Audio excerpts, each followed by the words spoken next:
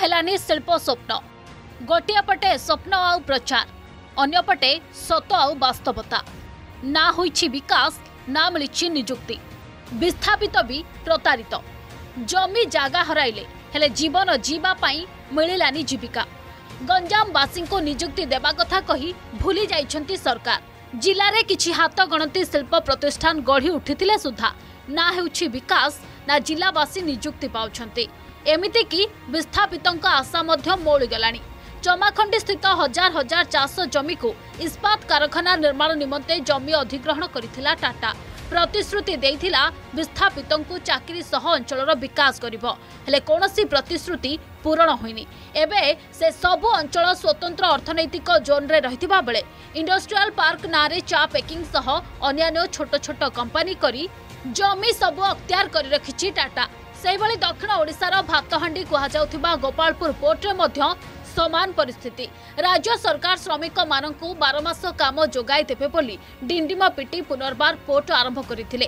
ହେଲେ ବର୍ତ୍ତମାନ ନିଯୁକ୍ତି ଦେବା ପରିବର୍ତ୍ତେ ଶହ ଶହ ଶ୍ରମିକଙ୍କୁ ଛଟେଇ କରାଯାଉଛି।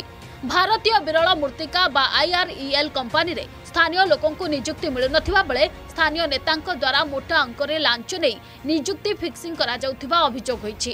ସେହିପରି ପୋର୍ଟ ମଧ୍ୟରେ ଥିବା ପେନା ସିମେଣ୍ଟ କାରଖାନାରେ ମଧ୍ୟ ସମାନ ସ୍ଥିତି। କିଛି ଠିକାଦାରଙ୍କ କଣ୍ଟ୍ରୋଲରେ ଥିବା ଯୋଗୁଁ ଜିଲ୍ଲାର ଏବଂ ଅଞ୍ଚଳର ଅନେକ ଶିକ୍ଷିତ ଯୁବକ ନିଯୁକ୍ତିରୁ ବଞ୍ଚିତ ହେଉଛନ୍ତି। ହେଲେ ଆପଣ ସାମଗ୍ରିକ ଭାବେ ଦେଖିବେ ଗଞ୍ଜାମ ଜିଲ୍ଲାରେ କୌଣସି ବିକାଶ ହଉନି ସବୁ ଦିଗରୁ ଆମେ ଫେଲ୍ ଡକ୍ଟର ନାହାନ୍ତି ପ୍ରାୟ ସ୍କୁଲରେ ଟିଚର ନାହାନ୍ତି ଲେକ୍ଚରର୍ସ ନାହାନ୍ତି।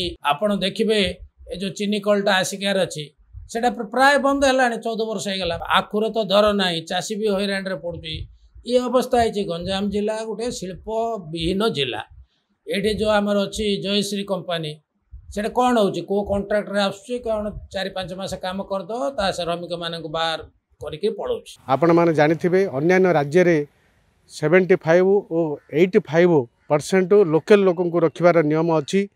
ଆପଣମାନେ ଜାଣିଛନ୍ତି କିନ୍ତୁ ଆମର ଏଇଠି ଟ୍ୱେଣ୍ଟି ପରସେଣ୍ଟ ମଧ୍ୟ ଏପର୍ଯ୍ୟନ୍ତ ଅଞ୍ଚଳବାସୀକି ରଖିନାହାନ୍ତି। ଆଉ ସାତରୁ ଆଠଟା କମ୍ପାନୀ ଏଇଠି ପାନା କମ୍ପାନୀ ହେଉ ଆମର ସେ ଯେଉଁ ଏଭ୍ରିସେମ୍ ବ୍ଲାଷ୍ଟ ଏଭ୍ରିସେମ୍ ଏଠାରେ ଅଛି ତାପରେ ଗୋପାଳପୁର ବନ୍ଦର ଅଛି ଆଜି ଶହ ଶହ ଲୋକ ବଡ଼ପଟି ହେଉ ବାଗିନପେଟା ଲକ୍ଷ୍ମୀପୁର ଅନ୍ୟାନ୍ୟ ଅଞ୍ଚଳର କିଡ଼ନୀ ରୋଗରେ ନାନା ପ୍ରକାର ରୋଗରେ ମୃତ୍ୟୁବରଣ କରା ସଙ୍ଗେ ସଙ୍ଗେ ନାନା ପ୍ରକାର ରୋଗରେ ପୀଡ଼ିତ ହୋଇ ନାନା ସମସ୍ତ ମେଡ଼ିକାଲରେ ଚିକିତ୍ସାଧୀନ ଅଛନ୍ତି। ଖାଲି ଏତିକି ନୁହେଁ ଗଞ୍ଜାମର ଗ୍ରାସିମ ଏବଂ ଆସିକାର ଚିନି ଶିଳ୍ପ ଏବଂ ସୂତା କଳରେ ମଧ୍ୟ ସମାନ ଅବସ୍ଥା। ଚିନି ଶିଳ୍ପ ଏବେ ଜରାଜୀର୍ଣ୍ଣ ଅବସ୍ଥାକୁ ଗତି କରୁଥିବା ବେଳେ କର୍ମଚାରୀଙ୍କୁ ମନଇଚ୍ଛା ଛଟେଇ ଚାଲିଥିବା ଯୋଗୁଁ ଏବେ ଦୁର୍ଦ୍ଦିନରେ ଆଖୁ ଚାଷୀ। ସେପଟେ ଆସିକା ସୂତାକଳ ବନ୍ଦ ପଡ଼ିଥିବା ବେଳେ ହଜାର ହଜାର ଶ୍ରମିକ ଏବେ ସୁରଟ ମୁହାଁ। ତେବେ ଏଥିରୁ ଆପଣ ଅନୁମାନ କରନ୍ତୁ ଗଞ୍ଜାମରେ କେମିତି ହେଉଛି ଶିଳ୍ପର ବିକାଶ ଏବଂ ନିଯୁକ୍ତି।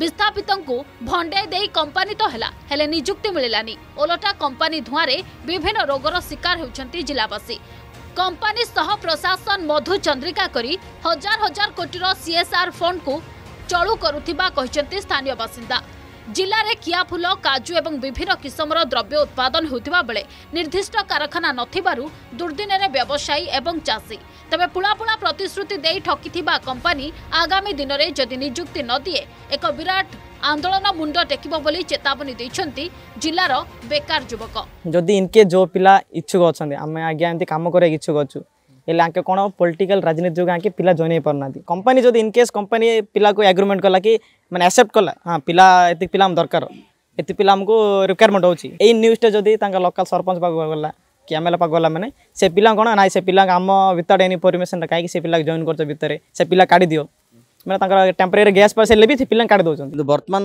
ଆମେ ଦେଖିବାକୁ ଯିବା ଯେ ସ୍ଥାନୀୟ ଅଞ୍ଚଳରେ ବହୁତ ଶିଳ୍ପ ଅଛି କିନ୍ତୁ ଅନ୍ୟ ସ୍ଥାନରୁ ବାହାର ବାହାର ଜିଲ୍ଲାରୁ ପିଲା ଆଣି ଆସିକି ଏଠାରେ ଚାକିରି କରୁଛନ୍ତି କିନ୍ତୁ ଆମ ଅଞ୍ଚଳର ଲୋକମାନଙ୍କୁ ଯେଉଁ ଅନୁସାରେ କଥା ଦିଆହେଇଥିଲା ସେ ଅନୁସାରେ ନିଯୁକ୍ତି ଦେବାର ଅ, ଆଦୌ କାହିଁ ସେଭଳି କିଛି ଆଖି ଦୃଶ୍ୟ ଦେଖାଯାଉନି ବର୍ତ୍ତମାନ ସମସ୍ତଙ୍କ ମନରେ ଆଶଙ୍କା ସୃଷ୍ଟି କରୁଛି ପ୍ରଶ୍ନବାଚୀ ସୃଷ୍ଟି କରୁଛି ଯେ କେବେ ପୁଣି ଥରେ ରାଜ୍ୟ ସରକାର ଦୀର୍ଘ ବାଇଶ ବର୍ଷ ଶାସନ କଲା ପରେ ଆସିକା ମାଟି ପ୍ରତି ଗଞ୍ଜାମ ମାଟି ପ୍ରତି ସେ ଧ୍ୟାନ ଦେବେ ଆସିକା ସୂତା କଳର ପୁନରୁଦ୍ଧାର କରିବେ ଏବଂ ଚିନି ଶିଳ୍ପକୁ ଯୋଉ ଜରାଜୀର୍ଣ୍ଣ ଅବସ୍ଥା ହେବାକୁ ଯଦି ତାକୁ ବଞ୍ଚେଇ ତାର ସମ୍ପୂର୍ଣ୍ଣ ଭାବେ କାର୍ଯ୍ୟକ୍ଷମ କରିବେ ସେଇ ଦିଗରେ ସମସ୍ତଙ୍କର ଆଶା ଅଛି।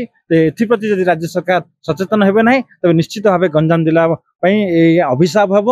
ଗୋଟିଏ ପଟେ ଜିଲ୍ଲାରୁ ପ୍ରତ୍ୟେକ ଦିନ ଶହ ଶହ ଶ୍ରମିକ ଦାଦନ ଖଟିବାକୁ ବାହାର ରାଜ୍ୟକୁ ଯାଉଥିବା ବେଳେ ଏପଟେ କିନ୍ତୁ ପ୍ରଶାସନ ଏବଂ ରାଜ୍ୟ ସରକାର ସବୁ ଦେଖି ଚୁପ୍। ଆସିକାରୁ କ୍ଷୀରୋଦ ବେହେରାଙ୍କ ସହ ବ୍ରହ୍ମପୁରରୁ ବିସ୍ମୟ ପ୍ରଧାନଙ୍କ ରିପୋର୍ଟ। Argus news